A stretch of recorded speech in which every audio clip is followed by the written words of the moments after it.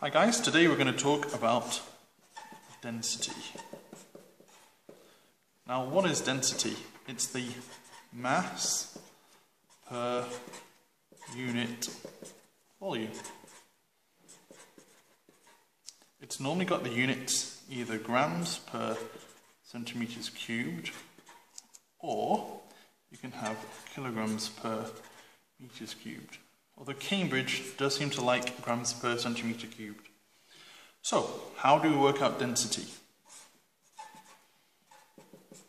Is equal to the mass divided by volume. Now mass, it could be grams or kilograms. Volume, it could be centimetres cubed or meters cubed. Now the triangle for this is density times the volume at the bottom here, and we have mass on the top. Uh, if you want to find out density, put your hand over the density, we do mass divided by volume. If you want to work out the mass of an object, density times by volume. If you want to work out the volume of a shape, you do the mass divided by the density. So let's have a look at an example.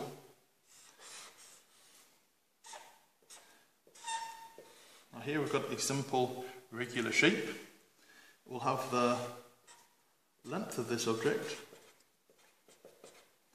Okay, and let's imagine this is going to be 20 centimeters.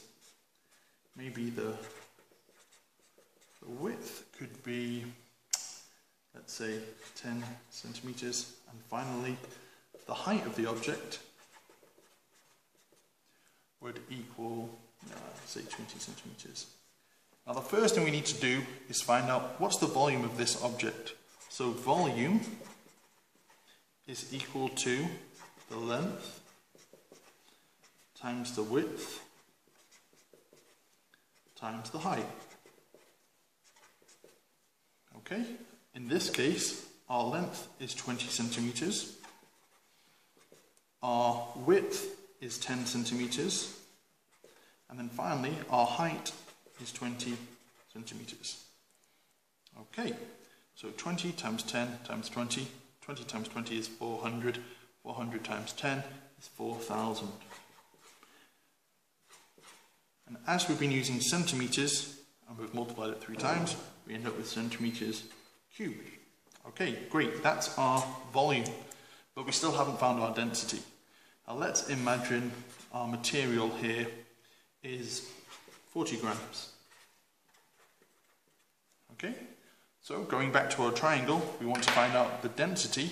So we're going to do the mass divided by the volume. Okay, so our mass is 400 grams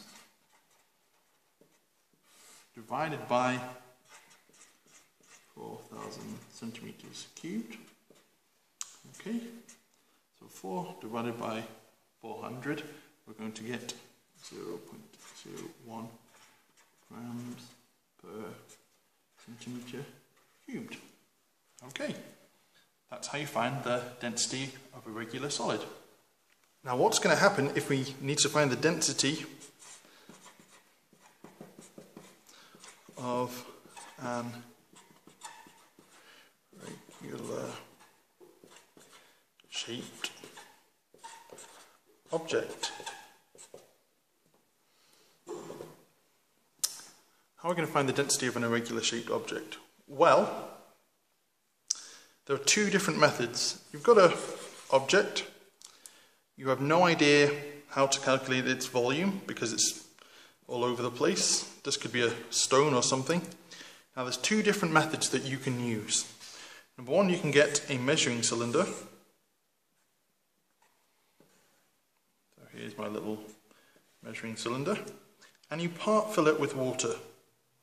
Now, when you drop your little object inside, down it goes, what's going to happen is the water is going to rise up.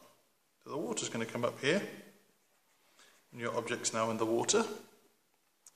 Now all you need to do is measure the difference in the volume.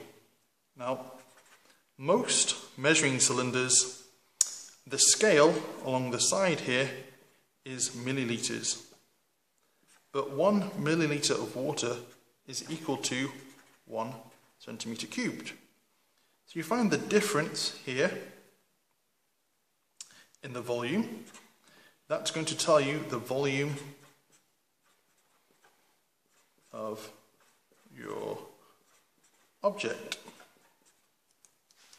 So that's one method where you use a measuring cylinder. Another way you can do it is if you get something called a Eureka can,